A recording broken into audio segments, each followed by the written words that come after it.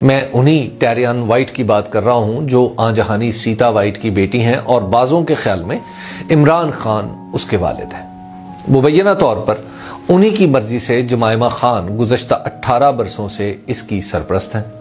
मुझे सहाफ़ी के तौर पर टेरियान और इमरान खान के दरमियान ताल्लुक के हवाले से इस पूरे किस्से में कुछ दिलचस्पी हो तो हो, लेकिन मेरे लिए यह समझना दुश्वार है कि हमारे कानूनी निज़ाम को इसमें क्या दिलचस्पी है।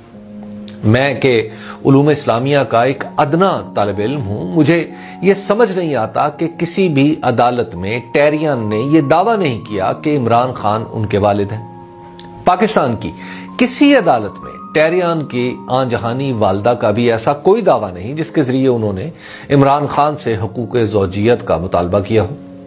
ऐसी भी कोई नौबत खुदा न खास्ता नहीं आई कि इमरान खान की विरासत की तकसीम का सवाल उठे। और टेरियान दावेदार बनकर सामने आए। इन तीन सूरतों के अलावा मैं ये समझने से कासिर हूँ कि टेरियन का मामला आखिर किस बुनियाद पर इतना अहम है कि इस पर किसी से भी जवाब तलब किया जाए। हया माने ना हो तो इस कजिए की वजाहत के लिए और भी बहुत कुछ कहा जा सकता है कि इस्लाम में नसब का तयन कैसे होता है। इसमें बहरहाल यह जहन में रहना चाहिए कि शरई तौर पर कोई भी नसब बगैर निकाह के मुमकिन नहीं होता। अब आ जाइए जरा मगरबी कानून की तरफ़। बेशतर मगरबी मुल्कों में अगरचे साहिब औलाद होने के लिए शादी की ज़रूरत नहीं, इसके बावजूद तकरीबन वहाँ वही कानून है जो इस्लामी मुल्कों में बच्चों के हवाले से राइज है। मर्दोजन मियाँ बीवी हो तो उस शादी की मुद्दत के अंदर बच्चा पैदा हो तो वही उसके माँ बाप समझे जाएँगे। दूसरी सूरत यह है कि शादी ना हो तो मर्द को एक हल्फनामे पर दस्तखत करना होंगे। और तीसरी सूरत यह है कि बच्चे की माँ किसी शख्स को बाप करार दे। ये तीनों सूरतें इसलिए अहम है कि बच्चे के अखराज का कुछ हिस्सा वहाँ बाप को अदा करना होता है। वहाँ ये एक आम सी बात है कि बहुत से लोगों को ऐसा बच्चा पालना पड़े जो उनका ना हो। कानून की खराबी यह है कि अगर कोई खातून किसी शख्स से कोई बच्चा गलत तौर पर मंसूब कर दे तो भी अदालत उसे कोई सजा नहीं देती।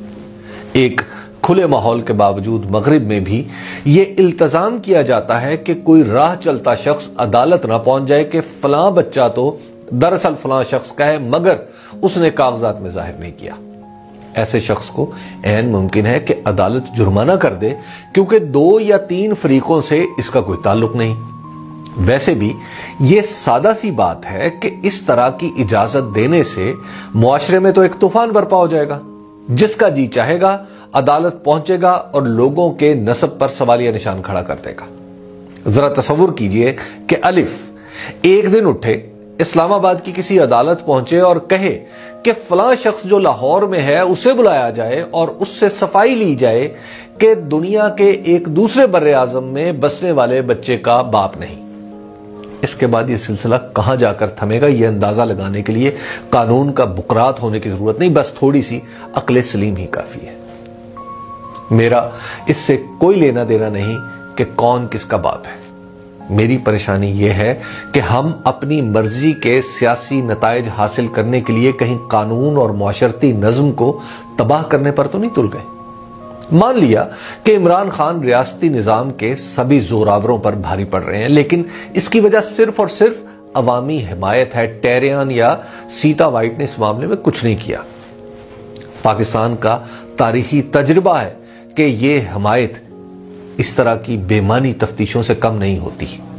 इसके लिए वक्त और इलेक्शन के अनासर ही फैसला कन हुआ करते हैं। अगर इमरान खान को ज़ोर लगाकर ही ना अहल करना है तो कर लें, मगर इस तरह किसी की वल्दियत का तयन करने की कोशिश ना करें। एक बार ये सिलसिला शुरू हो गया तो इमरान खान का तो क्या बिगड़ना है? इसके बाद अदालत में हर विरासत के मुकदमे में हर फरीक एक दूसरे की वल्दियत पर नाम धरेगा।